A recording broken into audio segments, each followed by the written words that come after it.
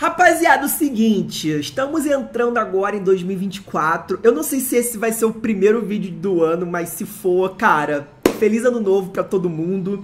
É, espero que esse ano de 2024 seja um ano muito bom. E, e assim, não tem como não dizer que é um ano de grandes expectativas, pelo menos para mim, tá? E esse vídeo é um pouco sobre isso. É o motivo das minhas expectativas estarem altas.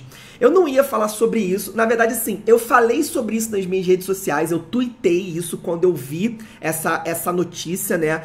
Mas eu não ia fazer um vídeo sobre isso. Porém, é, estou, estou na live, estou na twitch.tv Diário Planinalta e fui é, perguntado, né, sobre essa possibilidade da volta do circuito Liga Magic, né? Eu vi inclusive que o tio Vini, meu amigo, meu brother, meu irmão, fez um vídeo sobre o circuito Liga Magic. Assim, vou, vamos ser sinceros, né? Clickbait de primeira linha, clickbait de qualidade, tá? Ele botou assim: circuito Liga Magic voltou pelo menos estamos na torcida para isso. Por quê? Quando ele lançou esse vídeo, eu falei, pô, é isso, Liga Magic voltou, vamos comemorar, porque o tio Vini hoje tá, tá, tá trabalhando na Liga Magic, ele tá fazendo parte da Bolts, que é o time da Liga Magic, e eu achei que ele estava trazendo algum tipo de informação privilegiada lá de dentro. Mas ele não trouxe. Na verdade, ele fez um vídeo aqui, um vídeo muito bom que eu aconselho vocês assistirem. Eu vou deixar o link para esse vídeo do tio Vini Já. na, bom na dia, descrição, boa... tá? Desse vídeo para vocês darem uma assistida, porque basicamente nesse vídeo o tio Vini, ele fala sobre a, a história do circuito Liga Magic, né?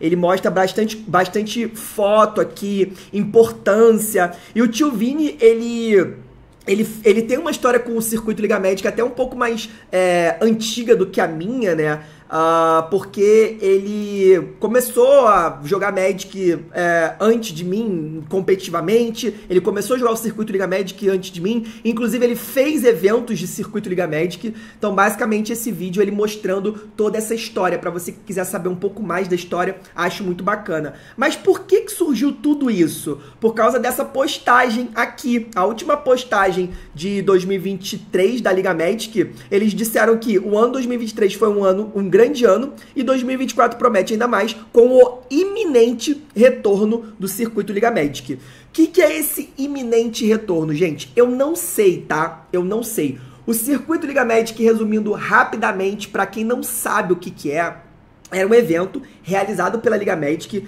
Ele teve aí acho que oito anos de evento. Não sei se foram oito anos ou oito eventos ou mais. E, cara, ele começou bem pequeno, ele era, ele era realizado em algumas lojas, né, locais, é, e aí os campeões dessas lojas ganhavam vaga para uma grande final, que, que era aqui em São Paulo normalmente.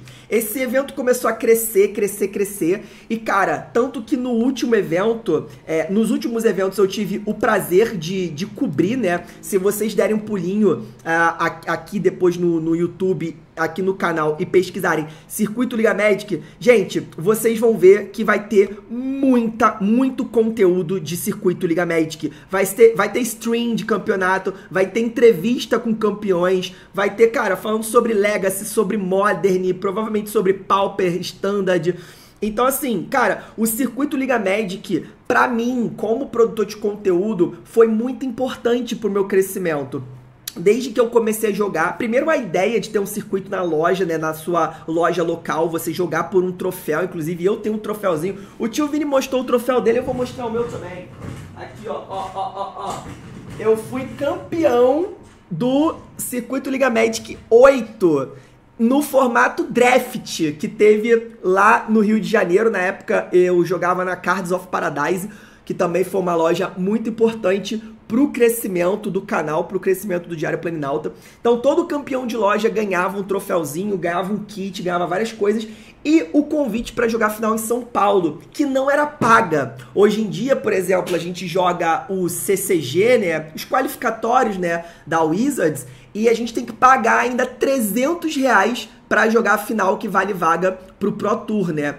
Então, é, o circuito Liga Magic ele foi muito importante porque ele trouxe em mim uma, uma veia mais competitiva, né? E eu acho que inclusive é essa a, essa a, a direção da pergunta, né, do Clauser aí que fez no, no, no chat da Twitch. Ele perguntou o que, que eu acho do CLM, se isso traria de volta em mim uma vontade de jogar o competitivo. Cara, eu vou ser muito sincero contigo, eu estou com essa vontade de voltar a jogar competitivamente desde o ano passado. 2023, por conta dos eventos na Epic, né, a Epic trouxe vários eventos legais em 2023, o, o, o Pioneer da Epic cresceu bastante em 2023, isso me trouxe muita vontade vontade de voltar a jogar o, o, o competitivo, né? É, no final do ano eu dei uma desanimada. Eu montei um deck T2, eu tô com um deck T2 novinho aqui montado. Tem até as cartas, a última, a última carta que eu peguei na época para fechar o sideboard aqui, ó. Tiziana Steinbinder, linda. Inclusive, se você for comprar na Epic cartas avulsa, usem o cupom Planinalta, tá? Falando em cupom Planinalta, eu quase ia me esquecendo, tá? A gente tá falando de Circuito Liga Magic, tá falando de Magic, tá falando de cupom, tá falando de Liga Magic. Nós temos aí, galera, o cupom Planinalta para gente poder concorrer aí até 50 kits pré-lançamento de Murders at Karlov Manor. Acho que é assassinatos na, na mansão é, é Karlov, né? É, essa coleção vai ser lançada em fevereiro, tá, galera? Então, se vocês comprarem, fizerem compras da Liga Magic a partir de 100 reais, vocês ganham um cupom para participar de sorteio. Isso em janeiro, tá? E vocês usando o cupom Planinalta, tá? Cupom Planinalta, que é o mesmo cupom lá da Epic também, vocês vocês dobram os cupons, né? Vocês dobram a quantidade de cupons para participar do sorteio. Então, se você gastou 100 reais e usou o código Planinalta, você ganha dois cupons. E assim por diante. Gastou 200, usou o Planinalta, ganha quatro cupons. E tem gente aí da comunidade Diário Planinalta ganhando sorteio na Liga Magic, hein? São 50 kits pré-lançamento. Não fique de fora dessa. Se forem fazer compras pela Liga Magic, utilizem aí o cupom Planinalta. Vocês me ajudam muito e também se ajudam bastante, né? Mas voltando aí ao que estávamos falando sobre o circuito Liga Magic. Circuito Liga Magic, por que, que ele me ajudou muito, né? Ele foi, ele foi algo que, tipo assim, é, é, é...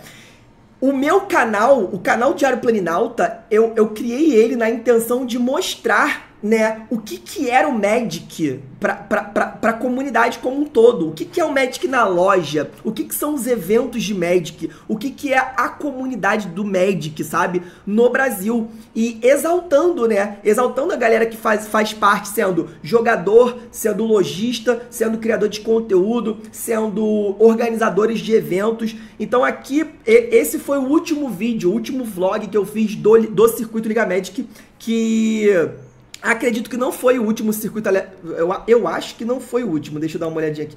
Ou talvez tenha sido o último sim. Aí, Caparrós, Rudá. Vocês veem que tem a galera aqui, né? A, a Fanny, que agora não, não, não faz, né, não tá mais tanto no Magic. Vários juízes, ó, a galera produtora de conteúdo, uma galera que nem tá mais. Olha, olha esse Young Elba aqui, ó. Young Elba, Young Tilvini. Tem uma galera que não faz, enfim, não faz mais, mais não tá mais na produção de conteúdo. Mas, cara, é, é tem muita coisa, ó. Tem, isso aqui é, o, é a cobertura do, do oitavo, ó isso aqui me ajudou muito, sabe? A trazer, a fazer o Diário Planinalta ser conhecido dentro do, da comunidade de Magic. Por quê? Porque é, foi o trabalho que eu sempre quis fazer, que é um trabalho de mostrar, né, pro, pra comunidade como que é a comunidade. Porque tem muita gente, cara, que joga o Magic, e ainda mais agora, depois da pandemia, tem muita gente que joga o Arena, que não sabe o que é a comunidade do Magic, que não sabe o que é o Gathering. Olha, olha esse Thiago, hein? Olha esse Thiago de dread, tá ligado?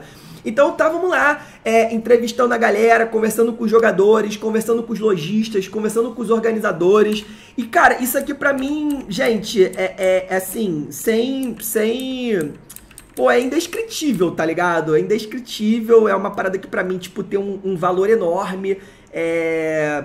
Eu acho que isso aqui marca uma, uma era, uma época do Magic, né? E, às vezes eu tenho muita às vezes eu tenho muita, tipo, não é tristeza, mas é um, um sentimento meio que, putz, eu podia ter começado o canal antes, né? Eu podia já estar tá cobrindo a história do Magic no Brasil há muito mais tempo. Mas é, é, é isso. Desde 2016 eu tenho viajado para eventos, eu tenho frequentado lojas, eu tenho, cara, conversado com a comunidade e trazido para vocês o que, que é é, tudo isso, né? Mostrado tudo isso sobre, sobre a minha visão, né? Sobre a minha ótica de jogador, de pessoa apaixonada.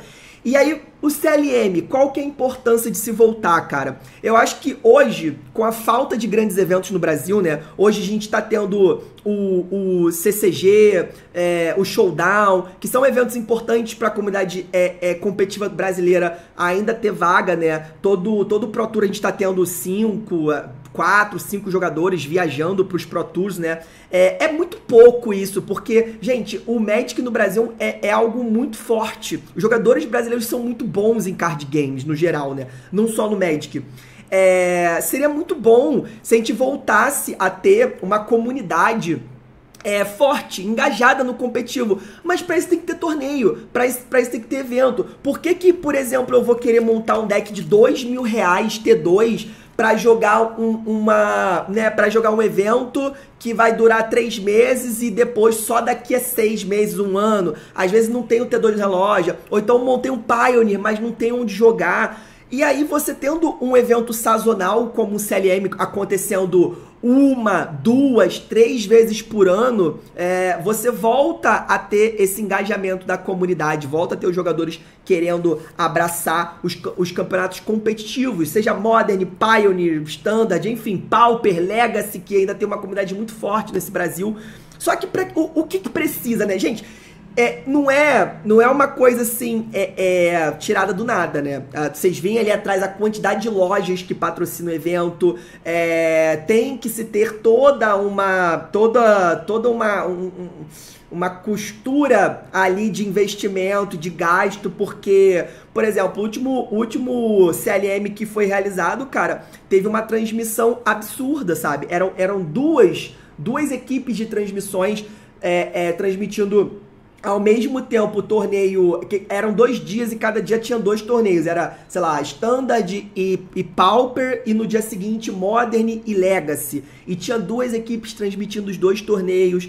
É, então é um gasto, é um custo, só que é algo que eu vejo como super necessário. Não só para o marketing, para a publicidade do próprio evento, das lojas que estão patrocinando o evento, mas para a comunidade também se sentir abraçada, se sentir exaltada, sabe? Se sentir debaixo do, do, do spotlight. E cara, quem não gostaria? Quem não gostaria de ir pro evento e jogar e ter seu jogo numa stream para 100, 200, 300 pessoas assistindo e depois ter um vídeo no YouTube falando, dando entrevista de como é que foi. Assim, eu acho isso o máximo, tá? Então, eu tô torcendo muito pro circuito Liga Magic voltar. Eu não tenho informações, tá? Não tenho informações privilegiadas sobre isso. Gostaria muito de ter aí, ó, a galera da Liga Magic, o Pato, o Varal, TED, galera que eu tenho mais contato ali. Se vocês tiverem algum anúncio legal para fazer, quiserem, aí ó, uma ajudinha, tô aqui para isso, Diário Planinalto, ajudar vocês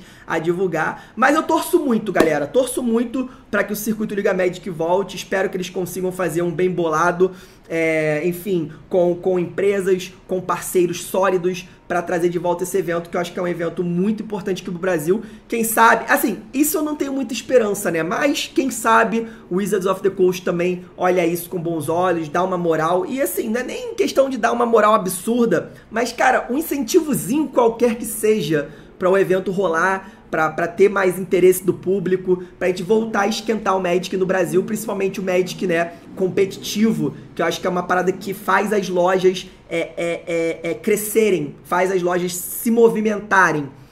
Espero muito que 2024 a gente tenha é, o retorno do, do, CLM, do Circuito Liga Magic, e não só isso, né? Espero que esse ano a gente tenha muitas oportunidades aí de poder vivenciar eventos, uh, de trocar é, é, experiências, conhecer novas pessoas, conhecer novos lugares, novas lojas, é, é jogar novos torneios. Enfim, é o que eu desejo para 2024. Espero que esse ano seja um ano que traga muitas coisas boas para a comunidade Magic aqui no Brasil. Agora eu quero saber a opinião de vocês, tá? E aí, isso te anima? Você é um jogador competitivo e, e, e quer muito que o CLM volte? Deixa nos comentários. Você é uma pessoa que não é competitiva. Pô, eu sou jogador do Commander, entrei aqui no vídeo só pra, só pra só para entender o que você tá falando e tal, mas não me interessa pelo competitivo. Mas o que, que você acha, sabe? O que, que você acha como jogador não competitivo? O que você acha de um, de um evento como esse acontecendo